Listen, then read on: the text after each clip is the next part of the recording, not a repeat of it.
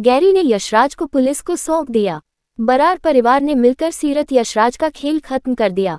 जी हाँ दोस्तों, सीरियल तेरी मेरी डोरिया में हम देखने वाले हैं कि सीरत ने अंगद की प्लास्टिक सर्जरी की पूरी तैयारी कर ली है और डॉक्टर और यशराज भी बेसमेंट में चले जाते हैं, लेकिन वहीं बरार परिवार को भी सीरत के खिलाफ बड़े सबूत मिले हैं और सीरत के घर का पता भी मिला है।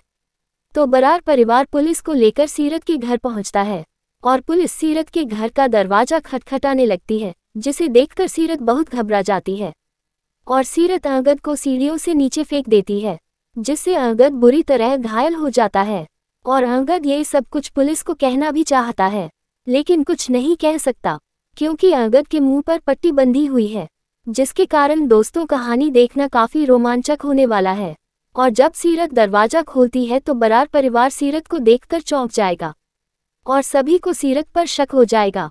लेकिन सीरत उसकी बात नहीं सुनती है। वह चिढ़ाती है कि वह बरार मेंशन छोड़ने के बाद हमेशा के लिए यहाँ आ गई।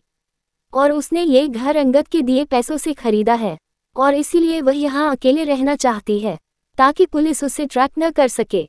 लेकिन साहिबा चुपके से सीढ़ियों से नीचे जाती है, जहाँ साहिबा उस अंगद को देखती है।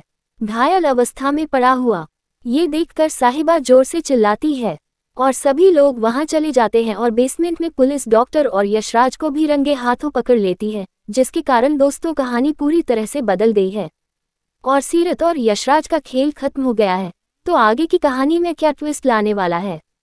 क्योंकि अंगद की हालत काफ़ी खराब हो गई है, क्या बरार परिवार अंगद को बचा पाएगा? फ़िलहाल आपकी क्या राय है इस खबर के बारे में? हमें कमेंट्स में ज़रूर बताएँ। साथ ही अगर आप नए हो तो हमारे चैनल को सब्सक्राइब करें।